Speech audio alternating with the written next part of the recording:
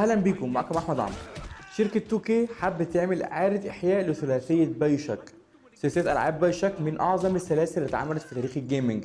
وهي سلسلة ألعاب RPG action shooter من منظور الشخص الأول وليها style خاص بيها في التصويب والعالم بتاعها وبالأخص في قصتها.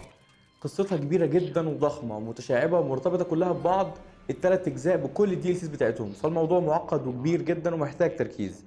فشركة 2K عملوا BioShock The Collection وال collection دي بتحتوي على BioShock 1 و 2 remaster بتاع كل جزء منهم وطبعا BioShock Infinite لكن من غير remaster لأنها تعتبر لعبة لسه جديدة. ال remaster ما فيهوش الفرق المهول عن اللعبة الأصلية مجرد بعض التحسينات البسيطة في المؤثرات البصرية وبالأخص quality ال textures والفرق ده مش هيبان قوي على ال resolutions القليلة زي 720 أو 1080 هيبان أكتر على ال resolutions العالية زي 2K أو 4K أو حتى أعلى من كده. لكن إيه اللي يخليني ك gamer أدفع فلوس في لعبة عشان يبقى شكلها أحسن على 4K هنا شركة 2K عملت حاجة لذيذة جدا واحييها عليها. انت لو عندك BioShock أو BioShock 2 على Steam هيجيلك ال remaster automatic من غير ما تعمل أي حاجة أو تشتريه.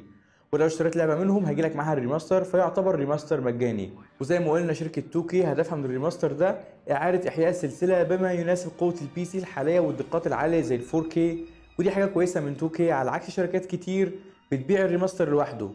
فتقوم شاري اللعبة بعدين تشتري ال remaster عشان يكون اللعبة شكلها أحسن. لكن طبعا 2K ما عملش الكلام ده.